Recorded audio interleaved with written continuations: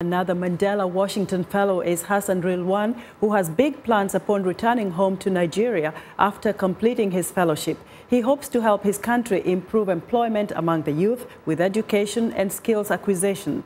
Hasan is an entrepreneur, the managing director of a cleaning service, Organic Farm, and the publisher of an online magazine. He also started a foundation that focuses on education and well-being of orphans in northern Nigeria. I'm a member of the Washington Fellows. I'm from Nigeria. I'm an entrepreneur and I'm 18 years old. What exactly? My name is Hasan Rilwan. I'm the Group Managing Director of Focal Point.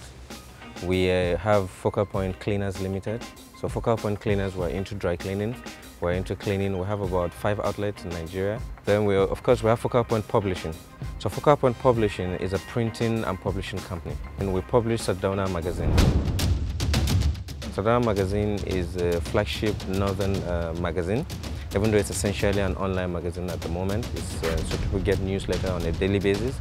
And um, I'm also the acting chairman of G17 Farms. So G17 Farms were into integrated farming. It has a capacity of about 120,000 birds. We just took delivery of about 11,000 layers last week. Also the founder of um, Sardauna Media Child Destitution Eradication Foundation. So that's the foundation with which I try to um, help in the eradication of child destitution in northern Nigeria. So I've had the privilege of um, sleeping, waking on a daily basis, going to classes with uh, 24 other excellent young African leaders. For we young African leaders, are we interested in going into government? And if we, we find ourselves in government, how do we intend to do something differently? What are the gaps and how do we close it?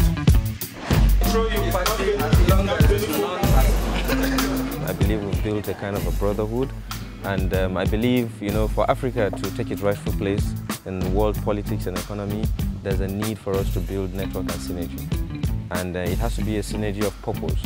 So I think YALI has provided the platform for us to be able to achieve that.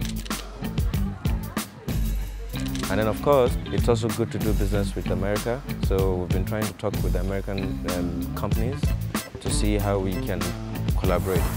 I am hoping that I can get to know from you guys how my company can optimize and for all of us, our individual companies, can optimize our businesses on um, Google and um, YouTube. As you know, Africa is the point where you have the highest growth and highest development rate in the world today. So for every serious international businessman, uh, that person has to focus on Africa as part of his key strategy. And um, we can be that access.